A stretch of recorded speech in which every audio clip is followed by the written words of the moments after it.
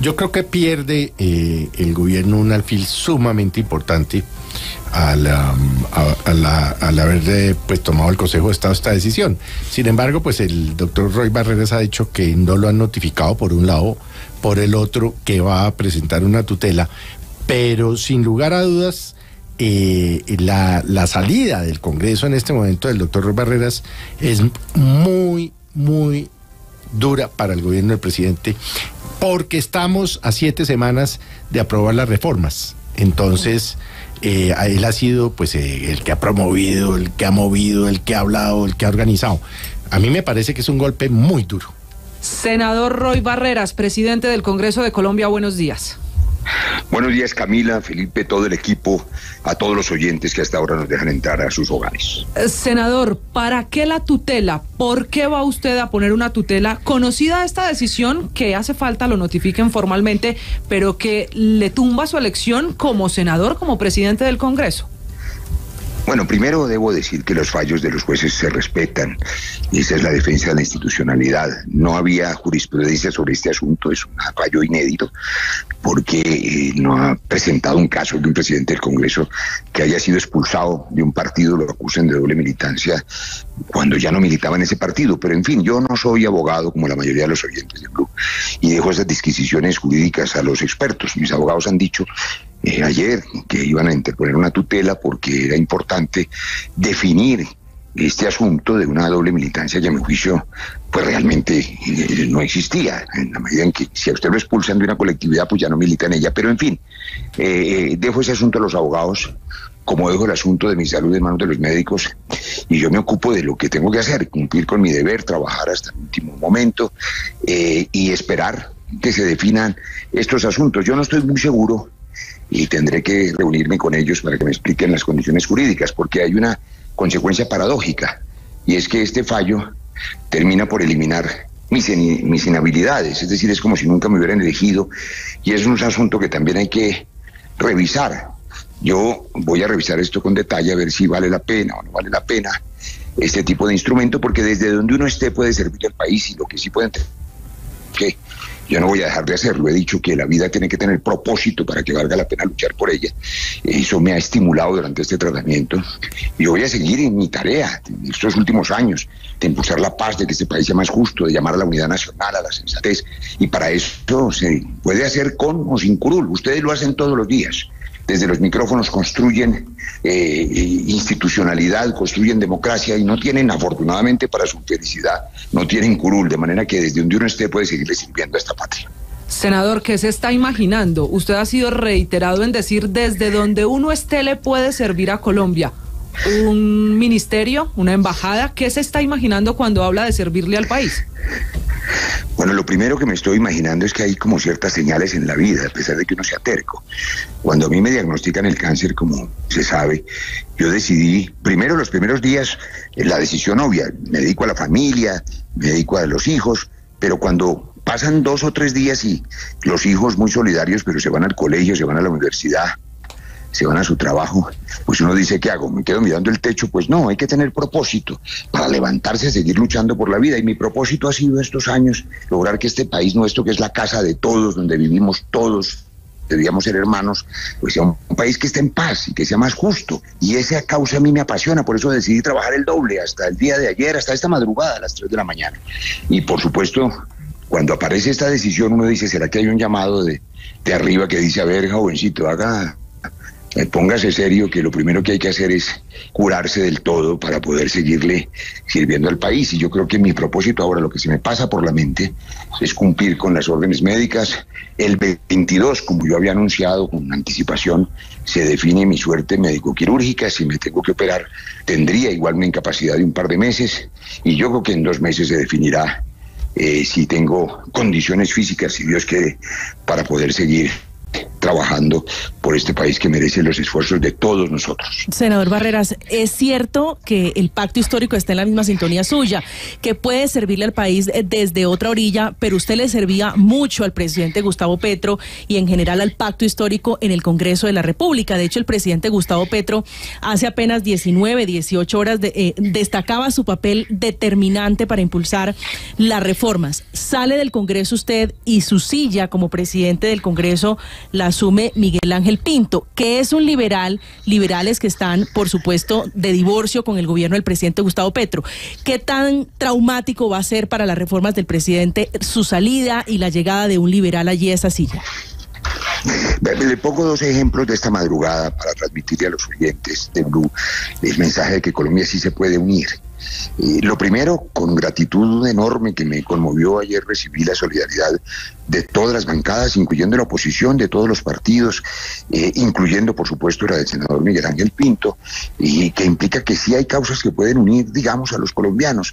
Y esta misma madrugada se aprobó el plan de desarrollo, una hoja de ruta para Colombia, por unanimidad casi que total, es decir, por, por una mayoría absoluta incluyendo los votos de partidos que ya no están en la coalición o, o con una coalición que ya que ya no existe y que hay que recomponer. Eso quiere decir que sí se puede unir el país alrededor de causas y que no estamos condenados a una dialéctica de amigos y enemigos y a confrontarnos en las calles y a la violencia eterna. No.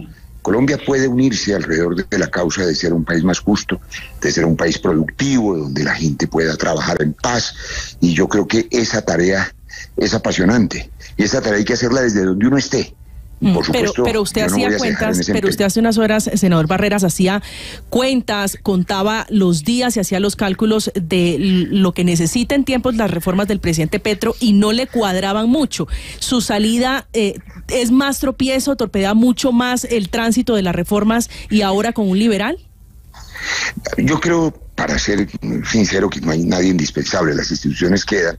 El senador Miguel Ángel Pinto ha sido mi compañero en la mesa directiva y ha sido y es un senador serio con mucha experiencia y por supuesto será capaz de conducir el Congreso seguramente con, la misma agilidad y, y, con mejor resultado seguramente, de manera que yo tengo plena confianza, sobre todo en mantener ese mensaje de unidad nacional de que se puede construir desde la diferencia y que las decisiones que se tomen desde los gobiernos o desde el Congreso deben servirle a los 50 millones de colombianos y colombianas y no solamente a un sector o una facción que se imponga ganadora sobre el derrotado. Eso es un escenario de conflictividad social que no queremos para Colombia. Queremos unidad del país, tranquilidad, institucionalidad, y esa es una causa que vale la pena seguir defendiendo. Yo la seguiré defendiendo desde el escenario donde me corresponda hacerlo. Senador, ¿usted considera que esta decisión es un golpe elaborado al gobierno de Gustavo Petro? Primero, yo respeto, como he dicho, los fallos de los jueces y a los jueces mismos. Sentaron una jurisprudencia, hubieran podido tomar una decisión en uno u otro sentido porque no hay una norma que determine qué hacer cuando alguien lo expulsan de un partido, si está condenado a no volver a participar en política en una doble sanción. Eso no está escrito en ninguna parte y cuando eso no ocurre, pues hay jurisprudencia. Pero en cambio sí felicito a los detractores, a los contradictores, porque hubo una decena de demandas en mi contra. Muchas de ellas fueron falladas a mi favor. Y en esta, pues, les cuajó, como decimos de manera que ellos pueden celebrar hoy esta zancadilla, esta caída en combate, pero que no celebren mucho, porque aquí hay energía y convicción suficiente para regresar a servirle a esta patria, que es la casa de todos y que vale la pena trabajar por ella. ¿Esta zancadilla, senador Barreras? ¿El Consejo de Estado le puso una zancadilla? No, no. Yo respeto los fallos de los jueces, sentaron jurisprudencia. Los demandantes, es que el origen de la demanda, de las múltiples demandas, son ciudadanos preocupados, ciudadanos supuestamente anónimos, que por supuesto tenían la intención, la han tenido durante años, de sacarnos del ruedo para impedir que defendamos la paz, que defendamos las ideas que tenemos, que defendamos en este caso unos cambios y unas reformas necesarias, sensatas, viables, desde la tranquilidad institucional. Querían sacarnos en los extremos. Hay gente muy polarizada que prefiere que la política se resuelva judicializándola y que por supuesto impetraron las demandas. Esas personas cuando metieron las demandas, pues es obvio que tenían intención de sacarme del ruedo, si no, no lo hubieran hecho. A ellos me refiero. Lograron una zancadilla, celebren hoy, no celebren mucho, que aquí hay suficiente convicción y energía para regresar. ¿Y quién está detrás? Usted habla de ellos, de los que lograron sacarlo del Congreso que deberían celebrar por un momento. ¿A quién se refiere, senador Barreras? Bueno, había una docena de, ciudadanos eh, anónimos que firmaron esas distintas demandas que fueron acumuladas. No recuerdo el nombre de ninguno de ellos, pero tenga la certeza de que militaban en una causa política contraria, porque pues a uno no lo demandan con el objeto de sacarlo de, del juego político por cariño, sino porque les parece que uno está haciendo un estorbo para sus planes, seguramente en defensa de la guerra o de la violencia o de sus privilegios o porque no quieren el cambio o por lo que sea. Pero, por supuesto, ellos imponen esas demandas, buscaron un vacío jurídico que había que llenar y por eso mis abogados, yo no lo soy, han dicho que los jueces constitucionales a través de una tutela tendrán que resolver cuál es el precedente. Le pongo un ejemplo. Hoy, en medio de la disolución de la coalición y de las contradicciones incluso dentro de los partidos, podría ocurrir que expulsaran a alguien por ser disidente. Con este fallo implicaría que esa persona expulsada, que ya tiene un castigo por ser disidente, además tiene un segundo castigo, que es no poder volver a aspirar. Es decir, que hay una sanción casi de muerte política que no está contemplada en la Constitución. Los jueces constitucionales tendrán que definir si esa es la norma de aquí en adelante. Es decir, si un partido puede expulsar a una persona y quitarle el derecho a ejercer su, su derecho, valga la redundancia, a elegir y ser elegido, que lo definan los jueces constitucionales. Mientras tanto, yo me concentro, porque hay un llamado desde arriba que tengo que oír, un llamado para quienes somos creyentes que dicen, a ver, señor, a pesar de que usted sea tan terco y trabaje sin detenerse un poco en su tratamiento, es hora de que se dedique a sanar del todo, porque se necesita estar sano para poder seguirle sirviendo al país. Los demandantes, senador Barreras, que no son anónimos, que están, que firmaron esas decisiones con las que se toma ahora, pues esa, la de fondo, su salida del Congreso, son Moisés David Anaya, Martín Emilio Cardona, Carlos Daza y Michelle Estefani Gómez Felipe, que dice el senador Roy mm. Barreras, están de fondo con una intención política que era sacarlo del Congreso. Sí. Eh, senador Barreras, ¿No será, si sus condiciones de, sus, de salud se lo permiten, que más bien le están haciendo un favor y le están pavimentando el camino hacia la presidencia de la República? Pues gracias por sus numerosas palabras, que como he dicho se suman a mí. A mí me conmovió mucho Felipe ayer, esta madrugada, las voces de solidaridad de todos los partidos, incluyendo las bancadas de oposición, que muestran que sí nos podemos unir, los colombianos, en la diferencia. Y esa es una paradoja que usted señala que yo creo que les puede amargar un poquito el, el dulce de este triunfo temporal a los contradictores, porque pues sí, eh, eh, seguramente no se esperaban que el fallo implicara liberarme de todo tipo de inhabilidad. Claro. Y, es como si nunca me hubieran elegido, pero eh, por ahora mi prioridad, tengo el 22 una cita médica quirúrgica, tengo que concentrarme en unos exámenes que me toman ahora el 18 y por supuesto, bueno, hay que terminar este tratamiento contra el cáncer y, y ganar esa batalla para poder seguir dando otras en favor de los colombianos. Tengo, gracias a Dios, digamos, muchos escenarios desde donde servir.